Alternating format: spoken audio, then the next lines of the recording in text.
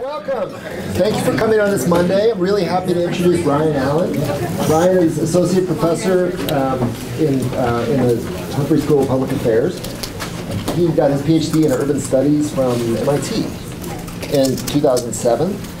Um, he is expert in civic engagement and public participation, demography, housing policy and planning, immigration and refugee services and policy, uh, and urban and regional planning. In recent years, his work has focused mainly on two things. Um, on the community and economic development processes of immigrants in the United States, and on how households have responded to the foreclosure crisis, as well, the flip side, how the foreclosure crisis has affected neighborhood quality in the United States. Um, very happy to have you today. This is your prize, your trophy. he has a cold, so be nice. Be nice. Um, the floor is yours. Thank you very much, Rob. Thanks. It's, it's great to see such a nice crowd. Um, I was just reflecting on the knowledge that I was going to get a mug because the one I got the last time I was here is now chipped. Um, so it was divine intervention, I guess, that brought me here today to get a new mug. Um, I want to present uh, a work in progress uh, and acknowledge first and foremost my co-author, uh, Dave Van Riper, who is here. Um, we started talking about this about a year ago as to what it would mean to use a complete count census uh, to get a handle on a public affairs question that's really important to me, and that is who benefits from public housing, right? Um, and so as we as we continue to discuss, this is the project that unfolded. So I'm going to talk to you about um, a couple of things. The first thing is um, I want to highlight a methodological uh, innovation that I think Dave and I have, are, are contributing to this particular kind of work. Um, and the second thing I want to talk about, and the more substantive thing I want to talk about, are the, the residents characteristics of those who benefited from public housing when public housing was ascending in the United States, right? Today, for those of you who are aware of the arc of public housing is very much waning. It is, it is uh, uh, uh, uh on, the, on, the, on the downside um, by many measures. But now we're gonna, I'm going to focus on, on when it was brand new uh, within the U.S. and what we were trying to achieve with that and, and who benefited. Um, so those are the those are going to be the key things to um, that, to come away from this talk with. Um, let me put this in a little bit of context. By 1940 in the U.S., uh, there were approximately 30,000 units of public housing. Those units of public housing were spread across 41 cities in 22 different states, including uh, the Virgin Islands and Puerto Rico. So there was definitely an attention uh, by 1940 of, of how we were going to allocate this resource broadly in a geographic sense.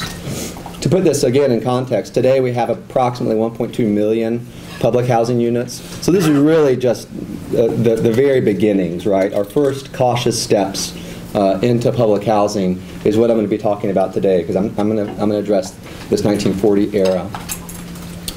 There were a couple of pieces of legislation that it's important to um, to know about before uh, we get into some of the data innovations and so on. I have a cold. The good news is I sound a lot worse than I feel. Um, the bad news is you've got to listen to me. Um, two pieces of, uh, of legislation. One was the National Industrial Recovery Act, uh, abbreviated NIRA.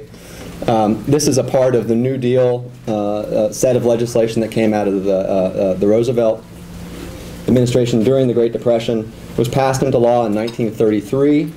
Um, it created uh, the Public Works Administration, uh, which many of you may be familiar with from high school history classes, or, or if you've gone further in history, uh, certainly uh, more advanced history courses touch on that as well. It's an important uh, uh, component of the, um, of the New Deal era in, in the U.S.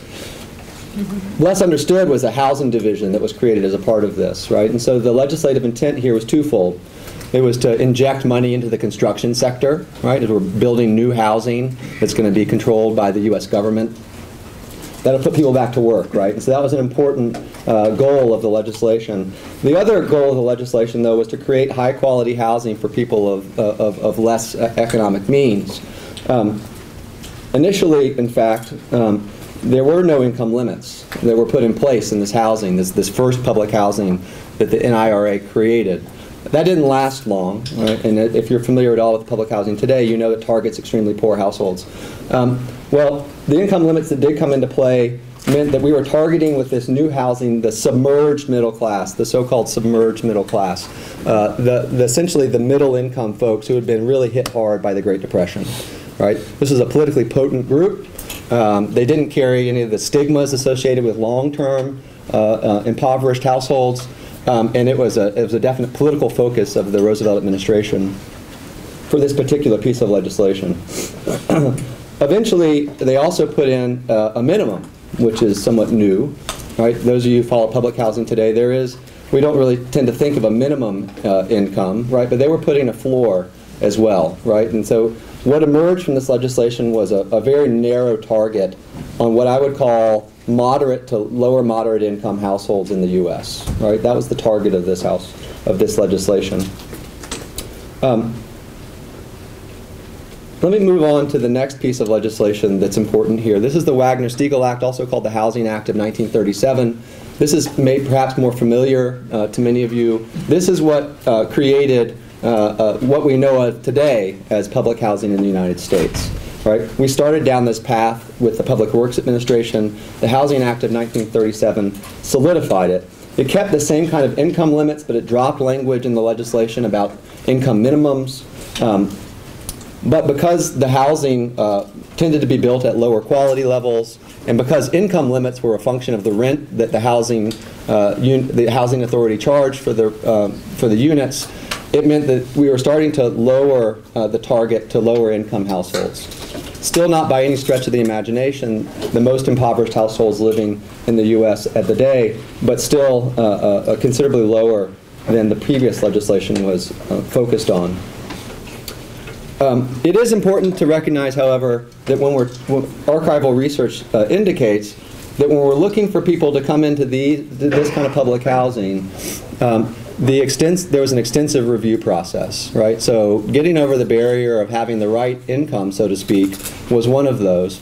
During this era, uh, uh, as a policy matter, the housing was strictly segregated, right? So a, a development was either for African Americans or was for whites, right? Um, eventually we get to a point where there are projects that are that are uh, uh, merging and, and accepting uh, residents from both races. But initially there was a strict seg segregation, so that's something that's important to know. On top of that, though. Um, we're talking about 25 to 30 applications for each available unit of housing. Right now, I'm talking specifically about New York, um, which I'll use as a test case here. And so the housing authorities could be really choosy in who they selected to live in the housing right? So in addition to an application, you had to sit for an interview um, in your current residence with someone from the housing authority, um, and they gave you extra points for things like being clean. Uh, they gave you extra points for being employed. Um, and all of this uh, is to say that there was a lot of creaming going on, a lot of cherry picking about who actually got access to the housing. You'll see that reflected in the data I'm going to show you in just a moment.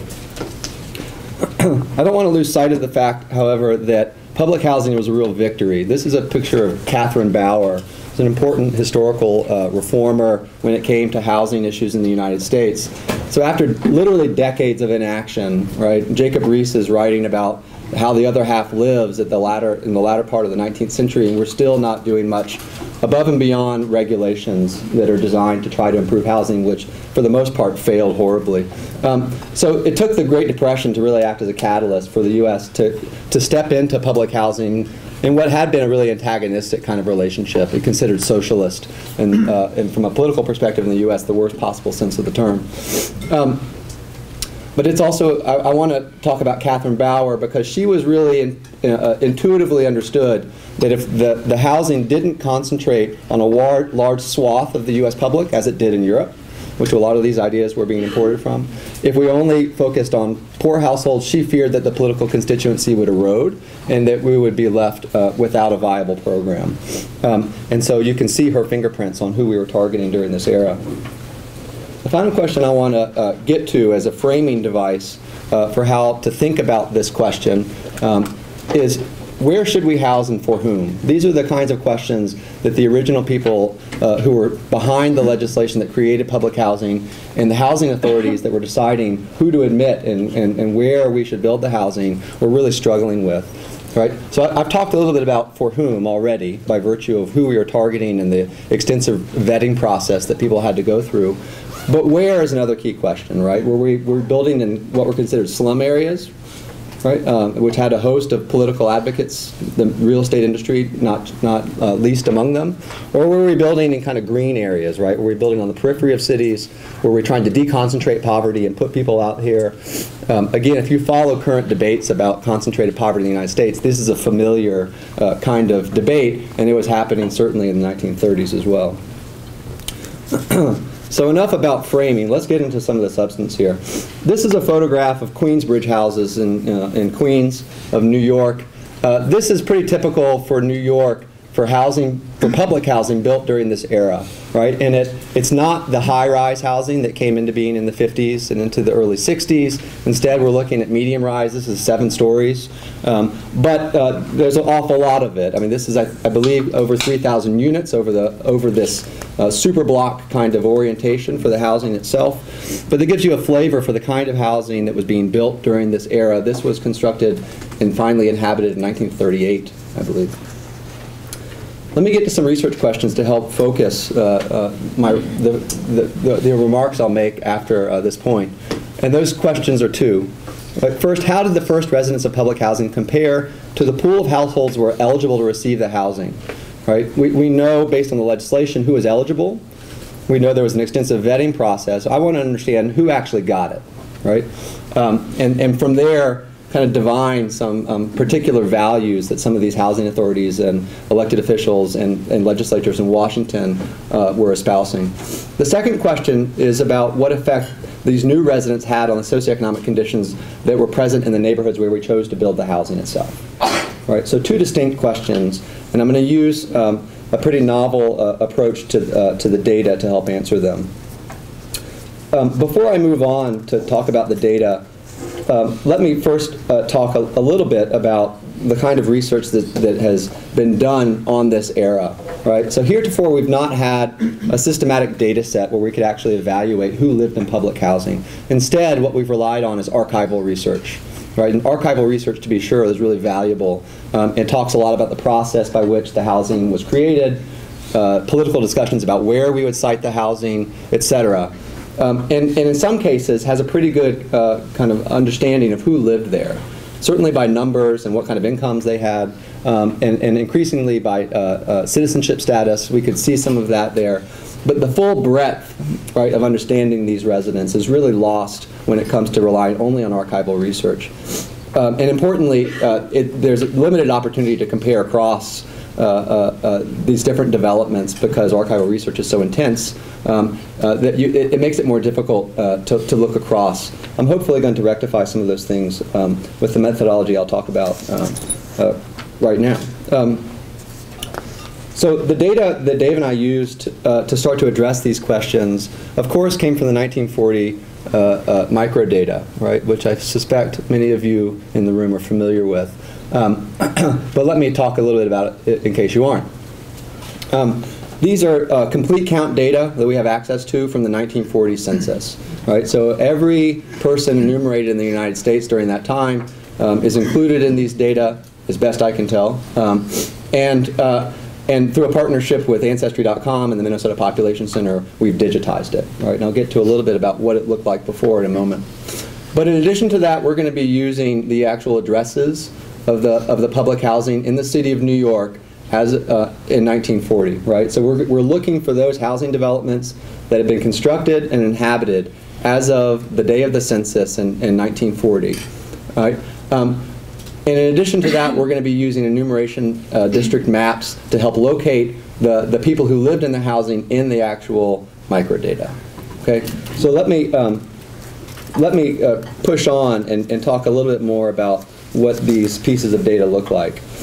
This is an example of the Williamsburg uh, housing development and the address, the street addresses that are maintained by the New York Housing Authority. Right? This particular housing is obviously still in existence today in New York. In fact, all of the housing I'll discuss today is still around in New York. Um, and so from here, you get the street addresses, right? Anyone, these are the mailing addresses. These are going to correspond uh, uh, roughly, or if not exactly, to how they existed in 1940, okay? So we're really lucky to have uh, a housing authority like, like New York's maintaining these kind of data. Um, this is, I want to for illustra- illustrative purposes, I want to talk about one particular development in the context of these data. Uh, this is the Williamsburg houses, um, and you can get a sense for it. It's a si- similar kind of scale as the previous picture that I showed of Queensbridge houses. Um, and here's how it looks using Google Earth. right? Um, so uh, we've drawn a red rectangle around the housing. Right? It's clearly demarcated um, not only by architectural style, right, in the layout of the housing, um, but also, again, going back to those uh, street addresses, we can tell which housing units are in this housing and which are outside of it, immediately outside of it. Um, uh, and so this is monumental development. Uh, it's spread across many um, city blocks, but it's, again, this low-rise kind of development, um, again, built in 1938. Just to give a little clearer picture, this is what it looks like without the topography included. And you can actually see the building uh, uh, layouts here, right, in, Google, um, which I'm continually astounded by, um, that they have this kind of uh, specificity. This is the enumeration district map. Right, this is from the 1940 census. Um, when you get a magnifying glass, you can start to make sense of a lot of these numbers, but it's pretty jumbled, right? Um, but what I want to show you is this red rectangle, which corresponds to one, one of those blocks in the public housing. Right? So again, if you look at uh, the Google Earth image, that rectangle was going around this uh, segment of the housing. So what we stumbled upon was this ability to, to use contemporary maps, overlay enumeration district maps, and, and get a good sense of where the data actually were in the 1940 census. Right? So when you, when you do this exercise, you get an understanding that, uh, of, of which enumeration districts you need to pull to actually do the analysis. A little bit more about the 1940 census data. Um, these are person-level records. Again, I think many of you are familiar with them. Um, but uh, it's, uh, it's, a, it's a wealth of information around everything from educational attainment uh, to employment status to family structure to sex race. I mean, we've got a lot of rich information in these 1940 census data. Uh, this was a big improvement over previous uh, uh, census uh, because uh, uh, the, the, the uh, FDR's administration wanted to use this data collection as a means for, for helping them to understand the scope of the problems and, and, and, and how we can so find some solutions to some of what we were experiencing during the Great Depression. Um, we go all the way down to respondents' address here. Um, it goes without saying these are available via IPUMS. Um, again, I think many of you in the room are aware of this. this is what one of the in initial original enumeration sheets looks like. Um, this is from uh, uh, that block in Williamsburg houses that I was showing you earlier. And so you can actually see name, address, you can see everything, right? Um, but obviously in not a very helpful format. Um, no one uh, maybe some graduate students in the room are interested in digitizing this. I'm, I'm not. Um, and so, uh, uh, so it's really helpful to have the digitized version of this. It makes things infinitely easier. In fact, this kind of research would be next to impossible without the digitized version. So how did we identify them? Again, I've alluded to this, but just to be specific, we, we identified which enumeration districts overlapped with where the public housing was located in 1940 in New York City right? I'll be specific in a minute, but there are five projects that we're going to look at. Um, and when we did that, we pulled the data for the, for the complete enumeration district. Now, oftentimes, the enumeration di district completely encapsulated the public housing, right, or a part of the public housing. In other cases, there were some margins, right, that didn't include public housing residents. And so with that in mind, we set about looking at the individual re records um, to, to see when they had an address that matched one of the building addresses from the housing authority. And when they didn't, we, we could actually locate that address and using Google Earth, verify that it was outside of the boundaries that we were interested in, and, and, um, and then kick it out of the data set, right? So at the end of the day, we're creating a data set that, that, that we have, a, I think, a high degree of confidence corresponds to the actual public housing residents uh, of the era. To be specific, there were five uh, uh, public housing projects that we evaluated with this research. Um, reading from top to bottom, those are First Houses, Harlem River Houses, Queensbridge Houses, Red Hook Houses, and Williamsburg. Again, all of this housing still exists in New York today. Um, they're spread across three different boroughs, as you can see in the second column. Um, the year they were built and finally occupied, well, this is the occupation year, you can see that all of them occurred before uh, uh, the census. Um, there was one, South Jamaica, I believe, um, that, that was occupied three months after the census. Unfortunately, for our, our sake, we had to uh, exclude it from the analysis for that reason. Um, so this, these are the two important columns I want to call your attention to. The first column here, or this is the fourth, reading from the left, this is the number of housing units that uh, the Housing Authority reports today, right? The number of units that are included in each of these developments. And so there's clearly a, a big variation going from 123 units to all the way to 30, almost 3,200. Um, and using our, uh, uh, the, the methodology I've just described to you, here are the households that we were able uh, uh to locate in the data, right? So um, we, we had a near match or an exact match for first houses and Harlem River houses. Um, we had a slight overcount um, in Queensbridge houses, and we had undercounts in both Red Hook and, and Williamsburg. Um, in, in, in, the case of Williamsburg, a pretty uh, slight undercount. In, in the case of Red Hook, um, a slightly larger one. Overall, we came within 1% of, uh, of the housing units that, that the census, uh, excuse me, that the housing authority tells us is there using our methodology. Um, now, I'm, I'm most concerned uh, with this overcount, right? I mean, clearly I've got some households in here that don't belong. Um, by the same token, though, I'm, I'm less concerned about these undercounts because it's possible that they were either vacant or no one was home at the time of enumeration. Um, th uh, that's a possibility. So I'm more concerned about the overcount and the fact that we only had an overcount of 11 um, make, makes me rest easier at night. Dave, on the other hand, was a basket case about this.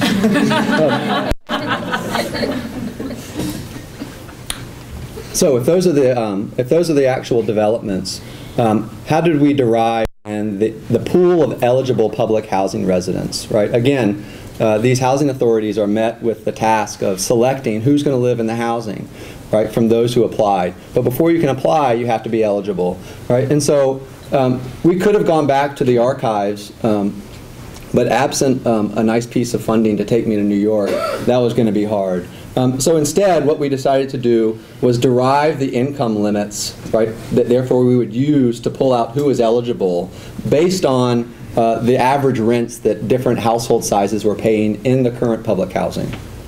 Right? So let me unpack that a little bit because to make sure it's clear.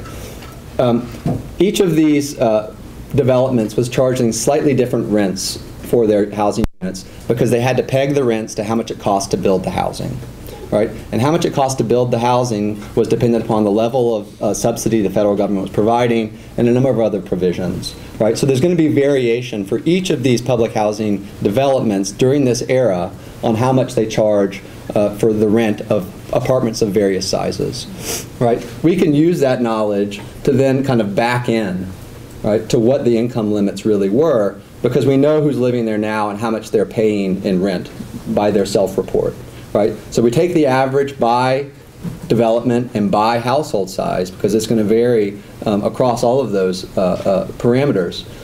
And then we use a either a 5 to 1 or a 6 to 1 ratio of income to rent to determine the income limit. Now, where does this ratio come from? In the actual legislation, what's specified is that you couldn't earn more than a 5 to 1 ratio um, for what you would pay in rent uh, in your income, right? That was specified in the legislation.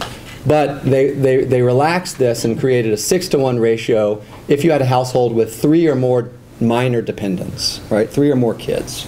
All right, so that's where these ratios come from, and that's how we derived them. We're looking at the average rents that people paid, and then extrapolating from that to look within the population of New York City, right? We're not going further than New York City to look at our eligibility.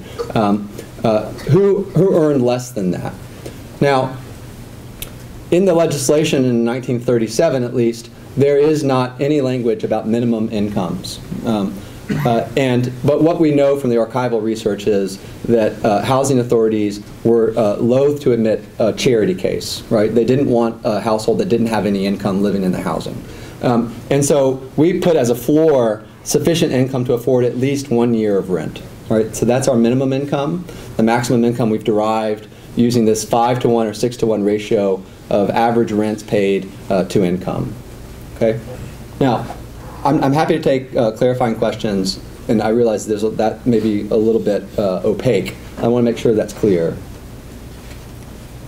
Maybe you're like my students. I'll get lots of questions later about how it's not clear. But um, let me move on for now. Um, so what this is eventually going to create is for each development a pool of eligible households, right? Now there's going to be crossover. You may be you may have been eligible given your income and your family structure and so on for many of these housing units, right? But each of the pools is going to look slightly different. Okay? So what did the data tell us? Let's get to the fun part of the presentation. Um, one of the things the data tell us, and, and here, um, when you use complete count census data, the one, one piece of the analysis is really pretty straightforward, right? Either there's a difference or there's not, right? We're not, there's no t-test involved. We're not thinking about sampling, right? This is the universe, right? So I'm gonna, what I'm gonna present to you right now are data that show average differences by those who are eligible to live in the housing and those who actually lived in the housing, right? This is the starting point of our analysis. One of the things that emerges is a clear preference for so-called nuclear family households. Think a mother and a father and at least one kid, right? Um, so let me illustrate that to you. This is a this is a bar chart across the bottom. Whoop, that's the wrong button. Across the bottom, we have uh, the housing developments from First Houses, Harlem River, Williamsburg, Queensbridge, and Red Hook. The blue bar represents the proportion, in this case, of female-headed households among households living in the development. The red bar illustrates, based on the pool of eligible residents, how many of those households had a female-headed household.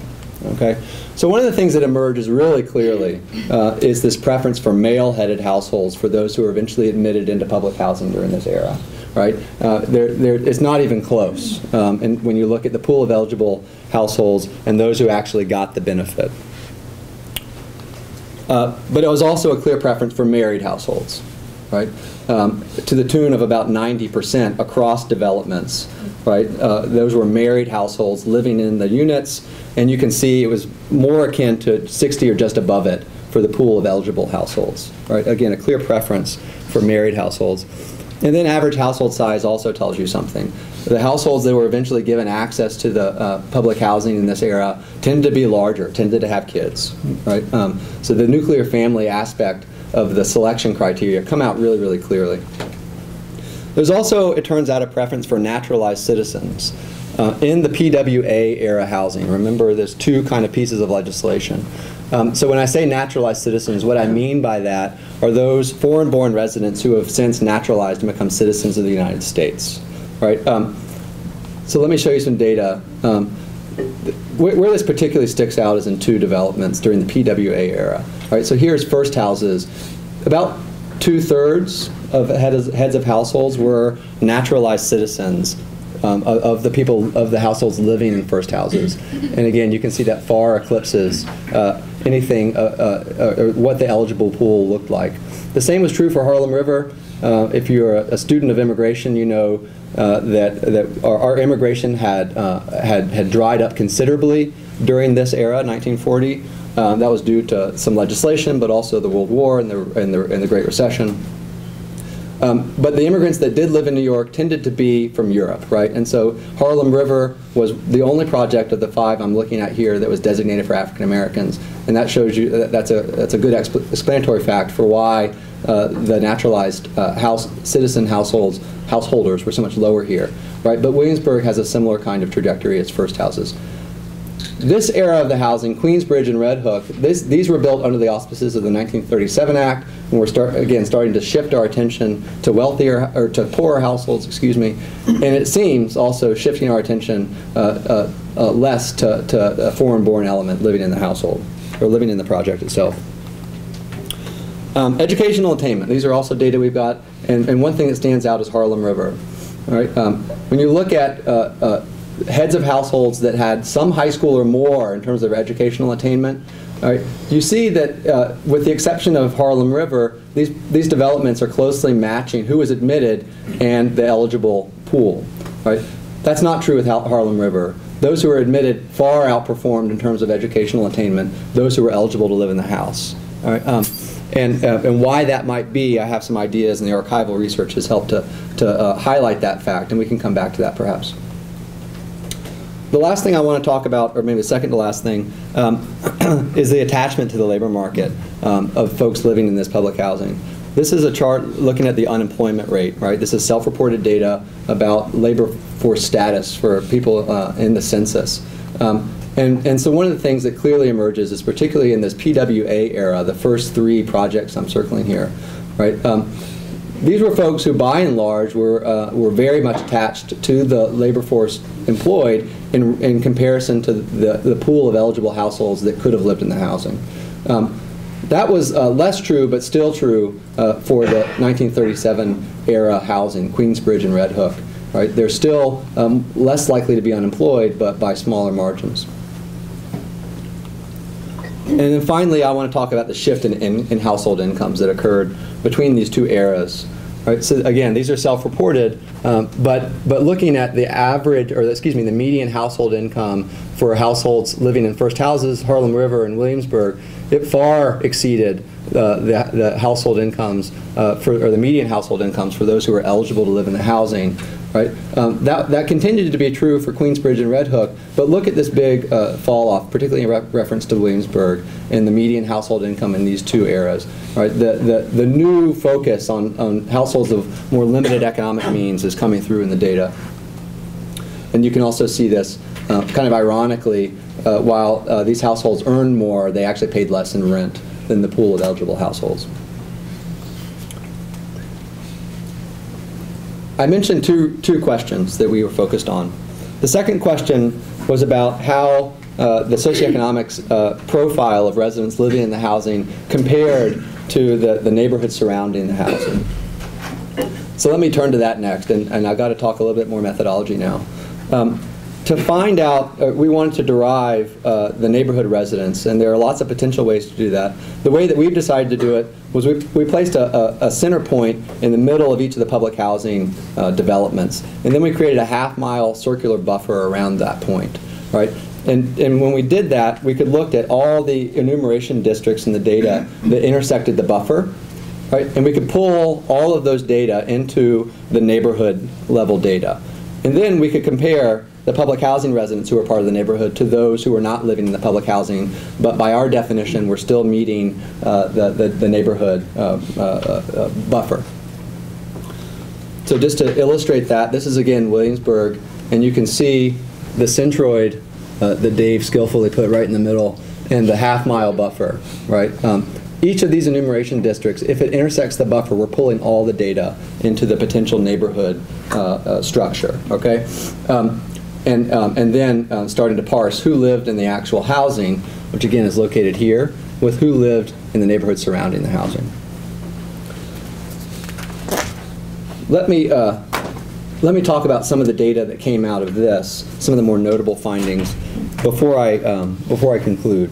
And I'm looking at the clock and I'm well within my parameters, so that's good. Um, So again, uh, these are just simple bar charts looking at uh, the residential profiles in the blue for across different developments and the neighborhood profiles in red. Right now, we're not talking about eligible households. We're talking about those who live in the neighborhoods outside of the housing developments.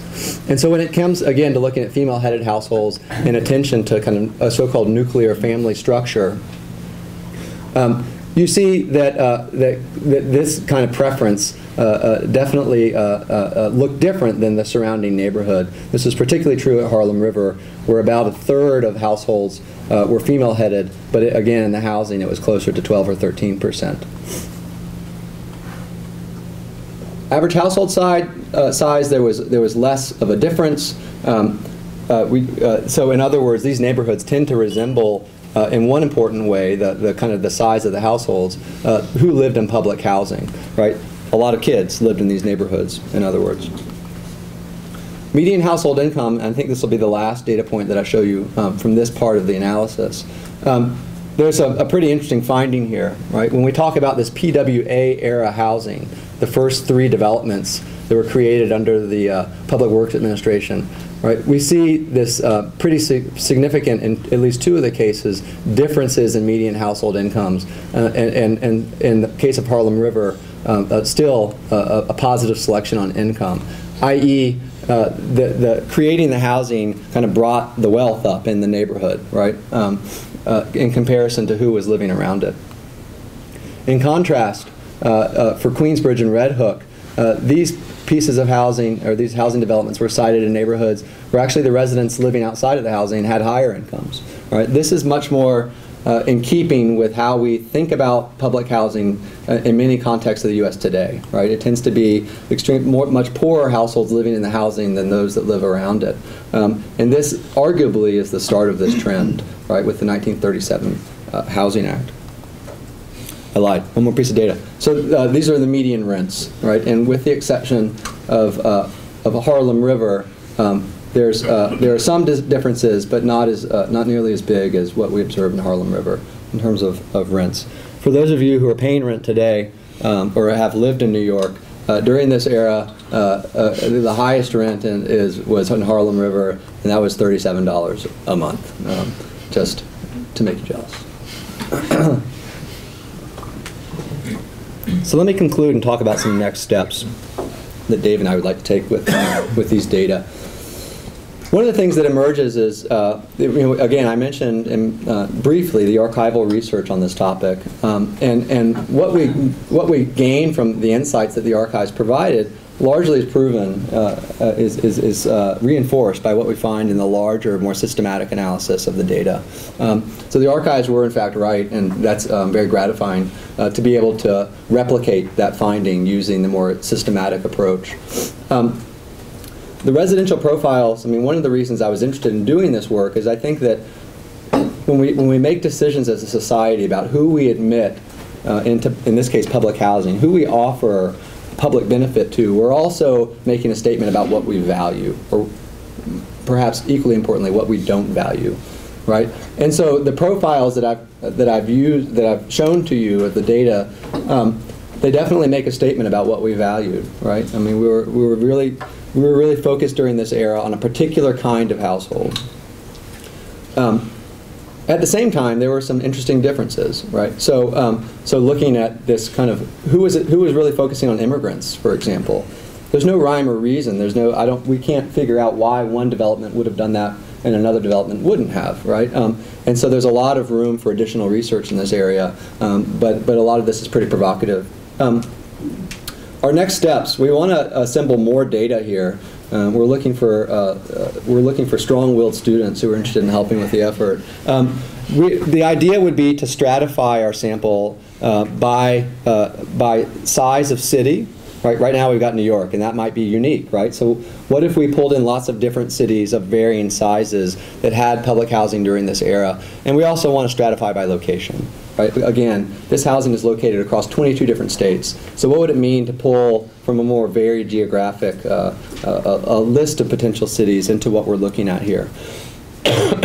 all in the service of really getting to this question, right? These key differences that I've talked about between the early era and the, the slightly later era of public housing, do they persist? Right? If we're looking at a larger uh, sample of, of who lived in public housing during this era. And of course, my own interests are very much around the citizenship issue and understanding how that was uh, part and parcel of how people were selected to live or not in the housing of, uh, of this time. Harlem River uh, is, a, is a study unto itself. Um, again, during this era, it was the only project that was devoted to African Americans, and it looks different in so many ways from the other projects um, that there's, I think, a lot to, to evaluate there. Let me acknowledge um, a lot of the funders that have made this kind of uh, research possible because of their assembly of the data, and also acknowledge Matt Nelson uh, here at MPC for his help in getting us access. And now I will stop talking, give my voice a rest, and, and, and look for questions from you. Thank you for being so attentive.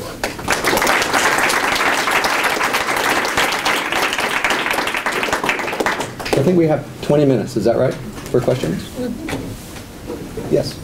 Um, I have a couple of questions. Um, one is, um, what kind of rhetoric, political justification was put out there for building this beyond stimulating the construction industry? I mean, it seems a little um, counterintuitive to think of building public housing for people who, in a depression, are relatively privileged in having, you know, uh, male-headed, um, attached to the labor force, you know, fairly high incomes and so on, like, I mean, I know now we're getting tax cuts for the rich, so I should be able to accept that, but it's still kind of surprising. Um, So I'm wondering, you know, what, what arguments were put out there justifying giving relatively protected people this social good? And then my second question is, why were so many people applying for the housing? Was it um, sold to them, or was it actually better than alternatives? Like, it's newer, it's not, you know, a dark, uh, crowded tenement, it's, apparently it's not a lot cheaper, but um, you said there were something like four or five applicants to every place. 25 to 1. 25 to 1. Why do people want to live there? Let me take that one first, and I'll come back to the political rhetoric. Um, so, particularly in the early, the PWA, PWA era housing was of really fantastic quality for the time period, right? And they were building this to really high construction specifications. Um, they had rules in place about how many people could live in, in, in a particular room, so they're trying to alleviate overcrowding, et cetera. Right? Um, so there was a huge demand for this housing because it was demonstrably of higher quality than a lot of the housing that was currently available. Right?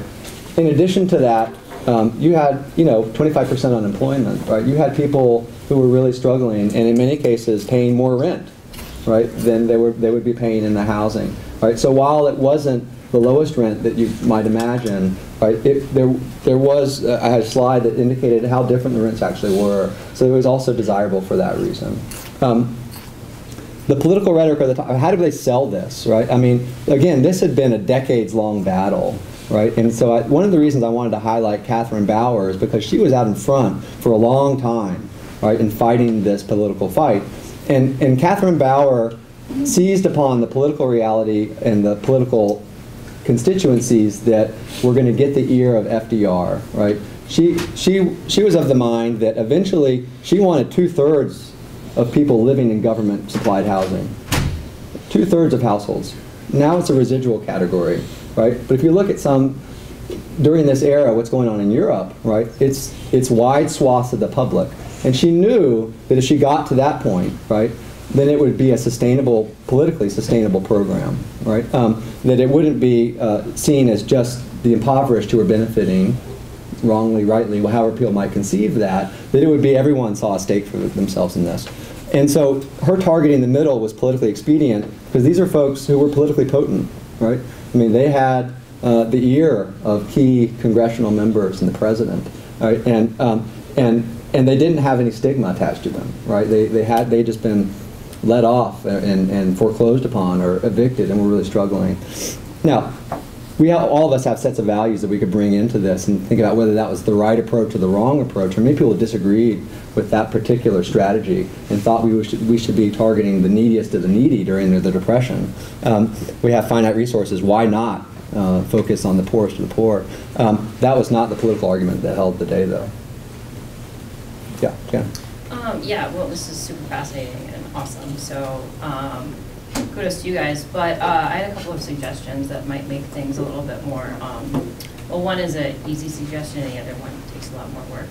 Um, one is that, so a lot of these, uh, these, you know, it's really great to just see the, the basic crosstabs, you know, married and female-headed and income and rent and all that.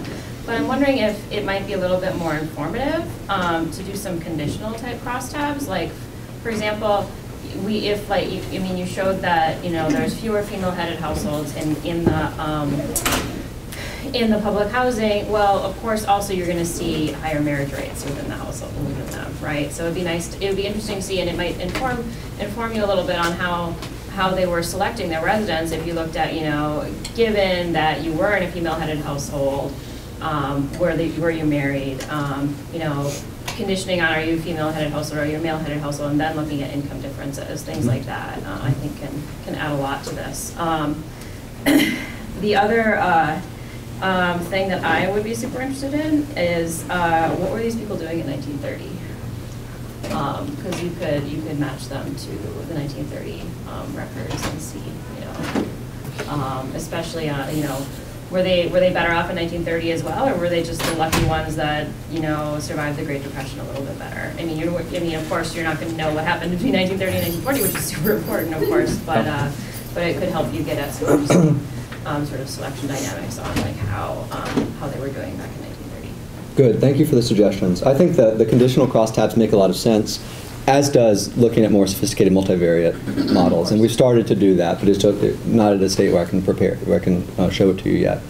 Um, But we're absolutely headed in that direction. On the linking thing, Dave and I have been discussing that. I'm a little intimidated by linking, like having just come from the Social Science Historical Association and, and, and seeing people present on how difficult it can really be.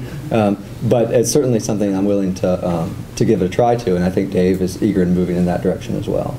Right? Because clearly, yeah, we wanted, it would be great to understand, um, in a more com- complete sense, like, where, where were people 10 years before this, right? How had their lives changed, right? Is this really the submerged middle class, in other words? Right? That would be a great, great thing to do. I'm going to work my way across, so here, and then to you. Ryan, you had some numbers you showed about the household size, but in some ways, they're responding to how many bedrooms were built in the units. Have you looked at that at all? So one of the things we don't have from the data are how many uh, rooms are in the dwelling.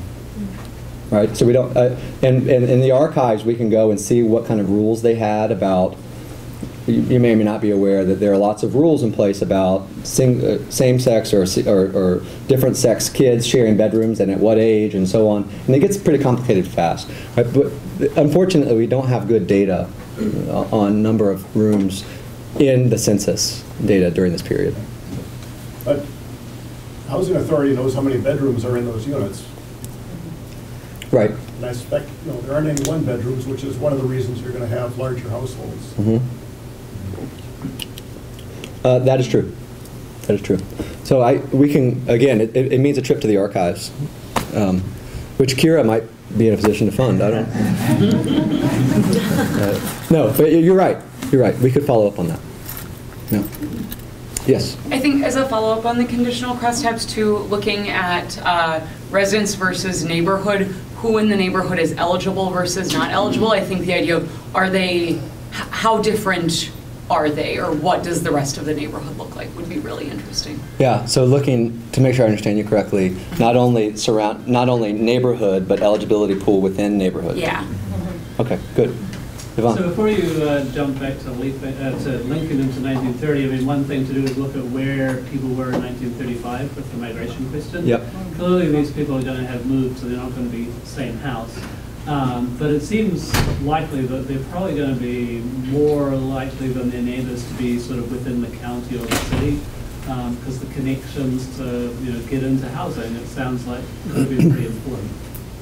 So we've done some kind of preliminary looks at that. The data are a little all over the place, as you're well aware. Um, But you're right, right? The vast majority of people were, were New York residents, right, five years prior.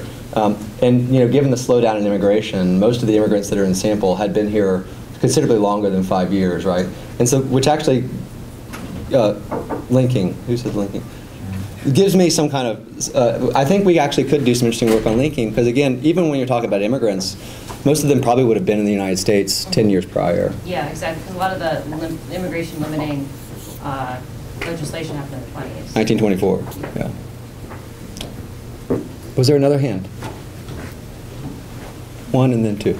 I just wanted to follow up on Will's comment that, just to be explicit, I think if you could find out the number of bedrooms in the public housing units, we do know the number of bedrooms from the census? Not in 40. Not in 40. Okay, never mind.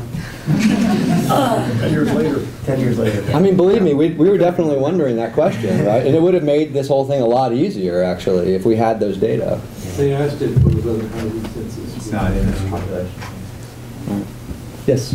Um, Can you say anything about who was um, making the decisions about, um, who was conducting interviews, who was saying, yes, you pass, and no, you don't? And, you know, one thought in terms of the, um, the preference to naturalized immigrants, if it might be, you know, people connected to like a political machine that was in some areas underpinned by Yeah. um, immigrant preponderance of voters. um, and- Yeah, but these are, these are really good questions. Um, I mean, the archival research on this does reveal something about who is who is who is on the board of people making these kinds of decisions, right?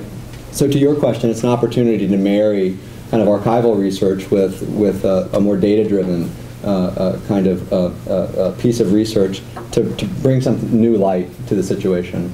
Um, now, that said, I, I thought about the political machine too, right? I mean, I wondered how much that might have influenced this. And um, I know there are historians in the room who can speak to this better than I can, but when I've read some of the historical accounts of this era, we're talking about LaGuardia as mayor during this era, and I, my understanding is that he was he was running largely on a platform of rooting out machines, right? That it, the machines had lost uh, some of their power that they had had in previous decades, right? And so, um, and in fact, when you look at some of the archival accounts about how uh, or, or how the legislation was passed, it was passed largely um, to provide some insulation from, from people who were worried about machines using this as patronage, right? Um, and so they constructed the housing authorities in a way that made it difficult for it to be used as patronage. Um, so by design, but also, as, again, my uh, unlearned uh, understanding as a non-historian is that, that machines were kind of waning in terms of the influence that they had uh, during, as of 1940. But historians in the room, please correct me if I'm wrong. Will, is, is a it? historian. Okay, I've got another question. okay. So what do you know about, you've got some hints at it. What do you know about how these locations were chosen for these developments? Um, Were they just open space and therefore available? Or is there anything in the archives that talk about not in my neighborhood kinds of fights? So um, the you know the political bedfellows around public housing during this era were pretty interesting, right? So there's an awful lot of speculative real estate interests that wanted the housing located in where they owned real estate, right? Because and oftentimes these were slum areas where they weren't commanding. Uh, uh, uh, well, they, they saw a potential to reap a substantial financial benefit from selling to the government, right? But there was a big Sort of more clear on your first three that were, where you had, um, where you- the income of the people who were in public housing was much higher than the Yeah. surrounding territory, less so in the later. ones. less so in the later ones. Um, but more to your point, I, I can talk in aggregate terms about this. In the, for the PWA era housing, there was 22,000 public housing units built, give or take a few. Of those, over 60% were sited in what were what were what were declared slum areas, right? Um, which drove some housing reformers absolutely batty, right? Because they saw this as rewarding bad behavior on the part of landlords, right? They were getting a substantial financial benefit after years and years and years of, of ma- not maintaining buildings, et cetera. Um, and again, this large debate around should we be developing on the margins of cities and deconcentrate poverty, right? Um, should we uh, should we open up uh, kind of what were then like the proto kind of prototypes to suburbs and start moving people on the periphery, um, or should we uh, or should we rebuild? Right. That was this is a big uh, political fight, and overwhelmingly the uh, build in the slum areas won, Even in the last, even in the later era. even in the later area era. Yeah.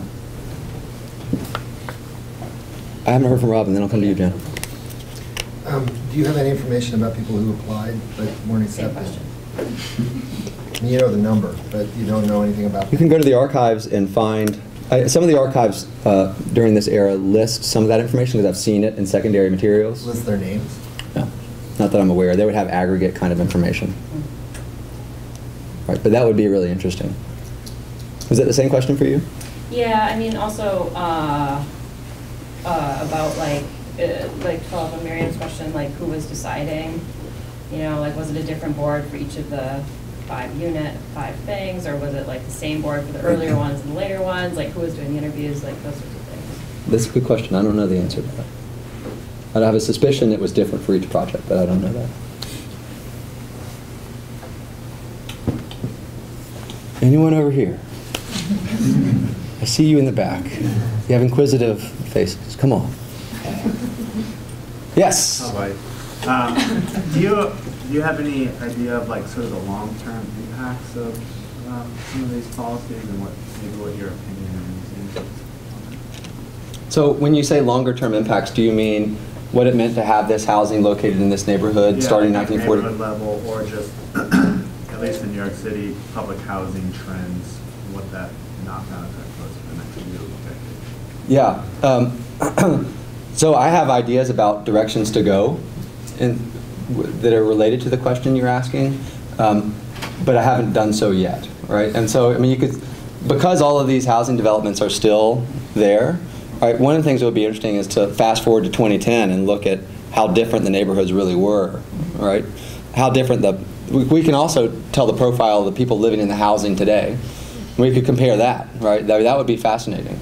Um, I haven't done it yet. Um, uh, my colleague Ed Goetz at Humphrey, I think, is interested in that question. Um, his longstanding interest in public housing, um, and so it's it's potential to bring a new uh, researcher into the MPC's orbit, right? Uh, we can get Ed involved in this. Uh, so I think that I think there's a lot of potential in, in addressing kind of what you're uh, mentioning. My first step is going to be to diversify our pool and get out of just New York, because I'm sensitive to the idea that people can look at this and say, well, New York is New York, but Louisville, Kentucky is something quite different, right? We didn't we didn't make the same kinds of choices, et cetera. Um, and it would be interesting to see how much uh, that's true or not, right? But a, a very good suggestion. Thank you. I think, Dan, one of the other things we've talked about is, can we link the public housing residents in 1940 with other administrative data sets to see what was it like to be a kid in public housing in 40? What was your long-term life outcomes? What does that look like for you, given that these were the first, literally the first public housing units that had ever, ever existed? Um, So, you know, I would talk to Rob about what that might look like related to some of the work he's doing on 1940. Um, There's 31,000 individuals who lived in public housing at that, at that time? That's In New. York only, and- and many more throughout the rest of the country. Yeah. So I see your hand, and you had a hand too. Yep. So did these all stay pri- um, public? Yes. Were any of them sold and No. privatized? That seems to be kind of. All public. Remarkable, given what we know about sort of the whole ideology of privatization and, you know, taking government out of things and smaller government, that they all Yeah. stayed public housing? Actually, when you, well, so in my, in this case, what I presented, that is true. When you look at the, uh, at the, at the public housing that was built as of 1940, we've lost substantial shares of it to demolition. Right, uh, either a kind of a Hope Six redevelopment project, Atlanta, the, the public housing that was built during this era in Atlanta is no longer there. Right, it was cleared in preparation for the Olympics, actually. Um, and, and so there, there are some uh, gaps, right? But for the most part, most of this housing still exists. And one of the reasons it still exists, um, I, you can uh, see in the comment I gave early on, this was pretty high quality stuff, right? If you go to New York today, these are still some of the most desirable housing units for people who live in public housing, right? You want to live in first houses, right? It's a fantastic place to live because of the high quality, right? I mean, like ornate built-ins, kind of carved stuff, right? This doesn't happen anymore. Um, and so, um, so to answer your question, no. I mean, this is all still public. Uh, Last question. Okay. How does how does turnover work? I'm just I'm thinking too about the idea of linking and looking forward to 2010. If I can keep this in my family, do I get to stay there, or when that householder dies, Yeah. how does so that let- happen, and how do we follow it down? Mm, That, I don't know uh, the exact answer to your question, but I think it would be a danger to confuse public housing with rent-controlled Yeah. housing, which is that typically the story you hear more often. You're like, we're going to keep it in the family, and um, that's not generally how it works. Although you can certainly see generational house, generational uh, households that have lived in public housing, right? Um, but it may not be the same unit. And I guess so. I'm thinking about the idea of right as as those numbers decrease, but arguably people in need of public housing have not decreased. How does does having been in there before in any way give you, uh, or having grown up there, give you a, a leg up in terms of accessing that very finite number of units? Um, yeah, potentially, Okay. because of, of the bureaucratic processes around getting access to the housing and understanding how those work. So having previous exposure to it definitely could have. Um, but, um, but I'm afraid that's the kind of most specific example I can, or answer I can give you, which is really unsatisfying for the last question, but there it is. Thank you for coming. I appreciate it.